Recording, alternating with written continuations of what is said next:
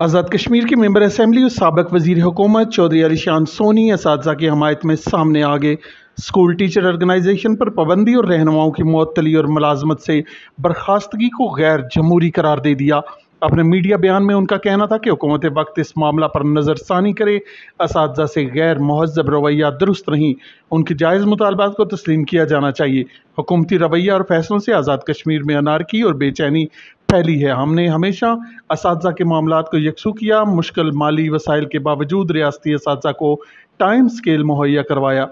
इस आज़ाद कश्मीर को हुकूमत एहतराम और इज़्ज़त देने के बजाय उनकी तनजीमों पर पाबंदी और उन्हें मुलाजमतों से फारग कर रही है जिसके माशरे पर मनफी असरात मुरतब हो रहे हैं मौजूदा हुकूमत को चालीस हज़ार इस के नुमाइंदा तनजीम पर पाबंदी और रहनुमाओं की मुलाजमत से फरागत पर जवाबदही से गुजरना पड़ेगा बतौर अवामी नुमाइंदा और मेंबर असम्बली इस तनजीम पर पाबंदी और इस रहनुमाओं की मुलाजमत से फरागत की मजम्मत करता हूँ हुकूमत गैर जमहूरी फैसला वापस ले और इस रहनुमाओं की मुलाजमत बहाल की जाए और उनके जायज़ मुतालबात पर अमल दरामद किया जाए।